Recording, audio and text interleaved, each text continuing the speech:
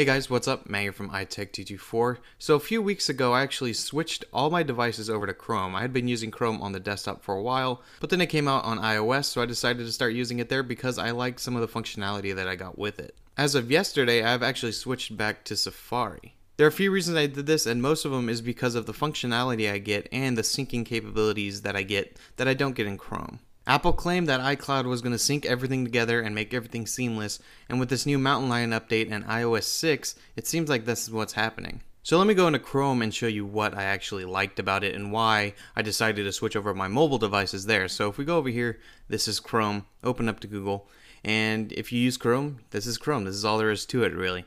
So it's nice, you get all your tabs up here, and you can open up Mini Mini. It looks really nice, very sleek. I like it a lot. It's very simple, nothing really to it, and it works. Now, I don't know exactly what this is, but I cannot update it to save my life, even though I know there's an update available. Every time I do it, it says there's not one available, even though the version I have is not the one that's currently out. So I don't really understand what the heck is going on there. And also, some of the functionality actually just disappeared as of yesterday. I don't know where it went. So if I go over here to Google, I'll go ahead and go to Apple now. So there it goes, loads Apple. So before yesterday, I was able to scroll back and forth on my trackpad to go between pages, and for whatever reason, that functionality disappeared. I don't know why. I didn't change any settings. All I did was take it off my dock. So I don't know why that would change anything. I don't know what's up with that, but that is gone. And there's just little things like that that just don't seem to work as perfectly as they should. Now, the main reason why I switched over to Chrome in my iOS devices is because when they released it for iOS, there was an ability to go ahead and send a page that you are looking at on your computer over to your phone, which was awesome. But after using it, it's just not as good as it seems. First of all, it's in beta, so you have to sign in and it's kind of quirky. So I go ahead and click on the phone, and this is what how you do it. So here it pops this up, but normally if you don't use it for a while, it disconnects and you're gonna have to re-sign in. I just did this right now because I was testing it. So that's really annoying because I don't want to sign in every single time I want to send a page to my iPhone or to my iPad. So once I do it, it works, it's not a big deal.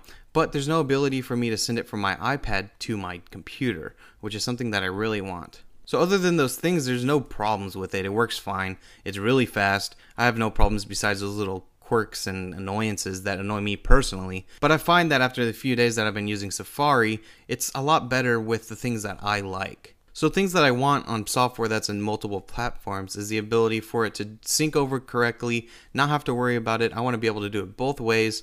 And then once you're on the desktop experience or the mobile experience for that matter, I want to know how you use it and how well it works. Now for a Mac, Safari is much better in the usability department, and it is much more polished and it's much more stable. So if we go over to Safari, it's not much of a change. It just looks like another browser. We have our tabs, we have our bookmarks bar, and everything looks normal. And it is. So I'm just going to show you why I like it better and what about it makes it better for me. So the main thing on the desktop is all the multi-touch features. So I can zoom in, or out with two fingers. As you can see here, if I need to see something better, I know you can do this in Chrome, but it's a lot smoother in Safari, and it just that's something that matters to me is how smooth something is. That matters to me a lot. So it's it works and it works very well, very easily.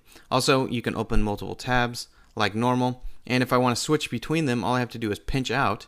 And then I can go between them all without having to click anything. This is all just by swiping and pinching, and it works really well. So I can go ahead and go back over here Again, I haven't done one physical click. This is all done just by tapping. Now, if we go over to apple.com like we did in Chrome, let me get there, then you'll see that one of the things that I really love is the ability to just go ahead and switch between going back and forth. So I can go back to the page I was just at. Like I said, you could do this in Chrome as well, but for me it disappeared for some reason. So now that I have it back, it's a lot better. So there's just a lot of those little things that really make it a lot better, a lot easier to use, especially on a Mac. I understand why if you're on a Windows computer, this will not matter at all. But for me, it's a big deal and it really makes things easier. So now the biggest thing is how we're going to be syncing this up between the iPhone and the iPad. So if you go ahead and activate iCloud, basically you can see here, my iPad 2 has the Apple website open and you'll see that on the screen as well. That in fact my iPad 2 does have the Apple screen. So I can go ahead and click that and it's going to take me right to where I am on my iPad. And I don't have anything open on my iPhone, but it would do the same thing if I have it on there. Now, if I want to look at something on my iPad, I don't have to sync anything. I don't have to push any buttons. iCloud does it automatically, so I don't have to worry about it. And I just go ahead and pick up my iPad and leave off where I was on my computer, and it works a lot better in my opinion. There's no buttons to click. There's no need to sign in. It just works a lot better.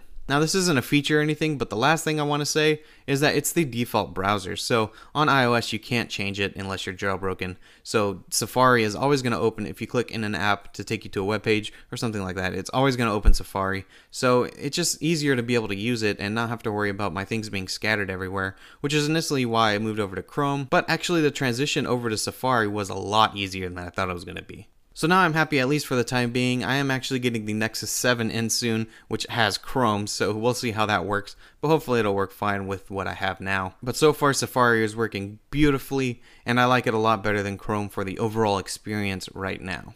Anyway, guys, I try to keep that as short as possible. That is why I switched over to Safari, and to me, they're valid points. Let me know what you guys think in the comments below. Let me know what you think about it if you would ever switch from Chrome. Like I said, my name is Matt from iTech224. Check out some of my other stuff, and if you like it, make sure you guys hit subscribe and give this video a thumbs up. That would be awesome. Hope you enjoyed this video, and I'll see you guys in my next one. See ya!